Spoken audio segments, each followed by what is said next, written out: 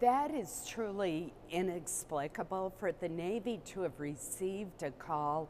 that indicates that an individual with unfettered access to a Navy base clearly is suffering from a serious mental illness and not immediately revoke his security clearance until they can assure that he does not pose a threat to others and himself is simply inexcusable.